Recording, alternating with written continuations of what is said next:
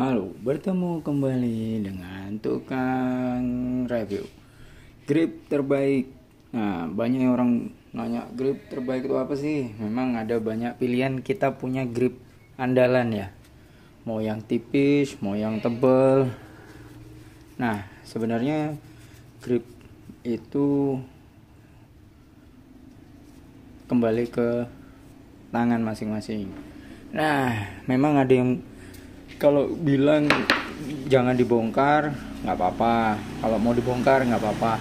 Tapi kenapa dibongkar tuh supaya awet juga kayunya? Nah untuk tahu grip yang terbaik itu sebenarnya kembali ke tangan kalian masing-masing.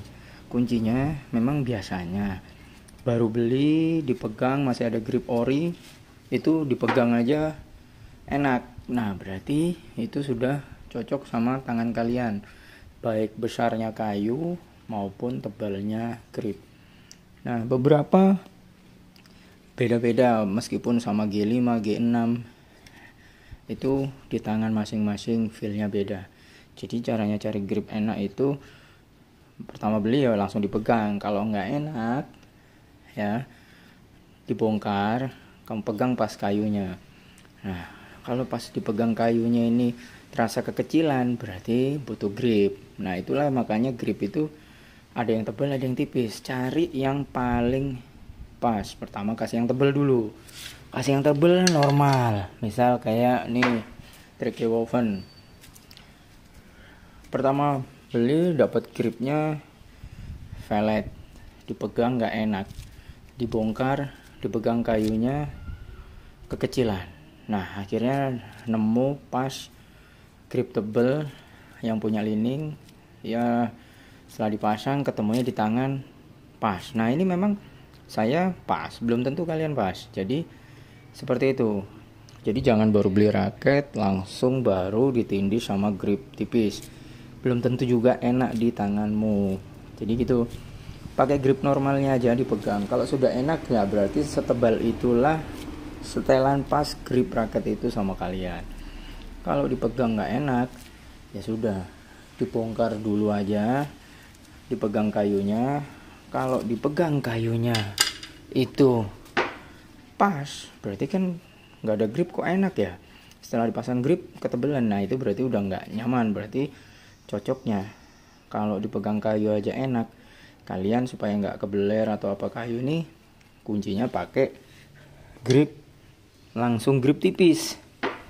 Nih kayak 88S Pro Yonex memang rata-rata gitu. Yonex itu kayunya sesama G5 atau G6 pun beda raket beda merek besaran punya Yonex nah akhirnya memang setelan terbaik menurut saya kalau Yonex dari tangan saya. Dari kayu itu langsung grip tipis.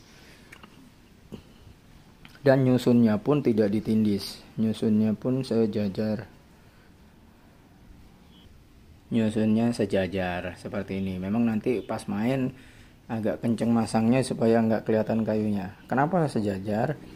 Karena dengan kayu aja di tangan saya feelnya pas. Jadi supaya nggak sakit saya kasih grip tipisnya RS yang nggak bolong-bolong ketemunya enak. Nah ini dia. Kalau dikasih grip yang lebih tebal akan terasa kebesaran pegangan. Nah, itu makanya kenapa grip terbaik sebenarnya kalian sendiri bisa menilai. Itu tadi pegang enak berarti itu sudah pas sama tanganmu. Tinggal enak yang tipis atau enak yang tebal. Jadi kuncinya di situ. Nah, kayak nih lining. Lining sama Yonex sama-sama G5 mesti kecil kecilan lining. Nah ini saya pasang gripnya velvet kenapa? Karena dari banyak grip kalau kalian lepas jangan keburu dibuang ya. Disimpan siapa tahu grip itu cocok di raket yang lain. Nih kayak ini nih.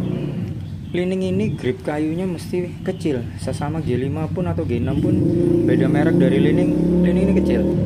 Nah akhirnya dari coba mencoba mau passing tipis yang paling pas di tangan setelah dipasang grip pakai gripnya velvet Nah itulah makanya kenapa grip-grip yang kalian bongkar jangan keburu dibuang. Siapa tahu cocok. Nih, kalau ini memang kecil, jadi kalau dikasih grip tipis kecil sekali. Kecuali tangan kalian kecil mungkin langsung pas. Makanya itu grip habis copotan jangan dibuang. Siapa tahu bisa dipakai lagi. Makanya kuncinya grip enak itu kalian yang bisa menilai.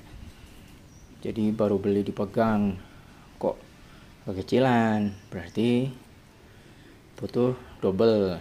Kalau dipegang uh kebesaran atau nggak enak ya coba dibongkar semua pegang kayunya. Kalau masih kekecilan butuh berapa tebalnya? Atau pas pas kayu ya sudah berarti pakai grip tipis langsung dengan kayu. Nah itu dia.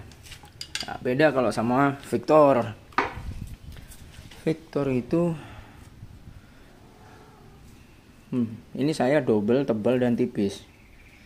Ini juga sebenarnya karena headnya Ryuga ini tebal dan berat. Meskipun 5U dia mantap.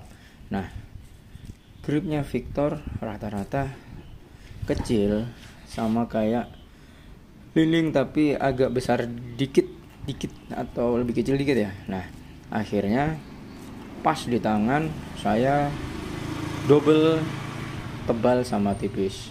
Jadi ini pun juga karena sebenarnya agak kebesaran supaya mengurangi bobot kepalanya sedikit. Makanya saya kasih double tebal dan tipis. Hasilnya ketemunya nyaman. Nah memang grip berubah itu balance point juga berubah. Semakin tipis balance pointmu semakin berat. Tapi kalian bisa merasakan dipegang jadi lebih enak. Nah berarti sudah cocok. Nah oke. Okay. kuncinya grip enak itu adalah kalian yang bisa menilai dengan cara bongkar pasang. Oke? Okay? ciao